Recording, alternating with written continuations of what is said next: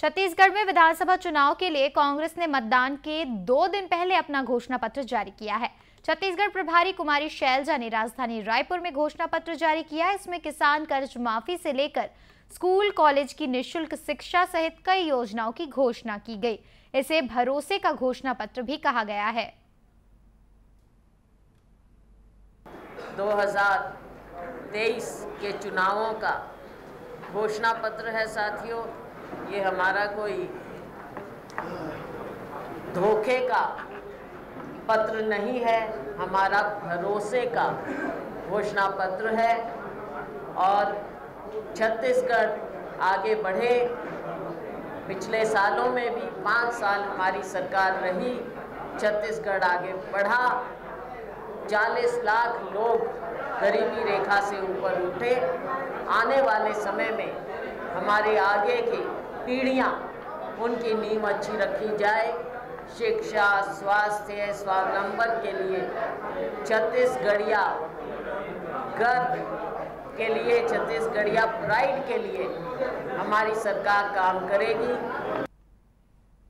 इधर सभी संभाग मुख्यालयों में पार्टी के वरिष्ठ नेताओं ने घोषणा पत्र जारी किया।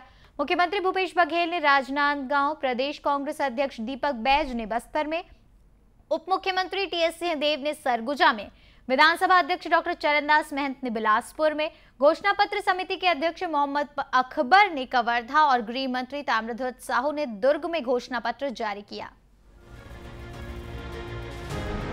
किसानों का कर्जा फिर से करेंगे माफ़।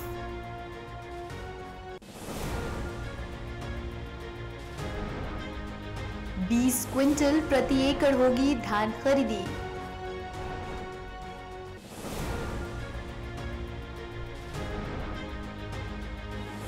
जातिगत जनगणना का वादा।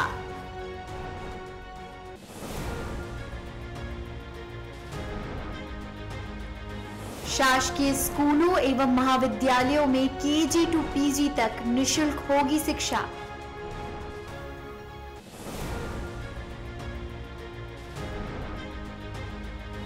सिलेंडर रिफिल करने पर 500 की सब्सिडी घर की महिला के बैंक खाते में।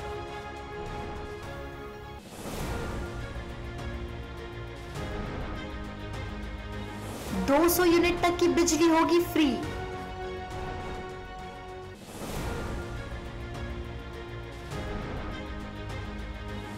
महिला स्व सहायता समूहों तथा सक्षम योजना अंतर्गत के लिए ऋण माफ़।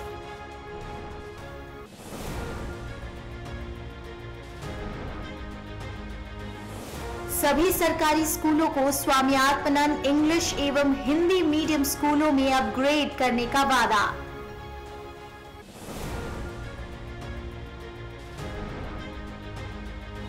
करीब 18 लाख गरीब परिवारों को मिलेगा खुद का आवास।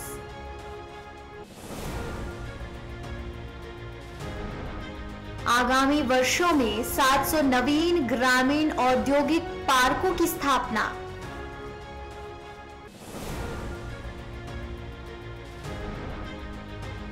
राजीव गांधी तेंदुपत्ता संग्राहक न्याय योजना के तहत तेंदुपत्ता संग्राहकों को देंगे चार हज़ार प्रतिवर्ष बोनस।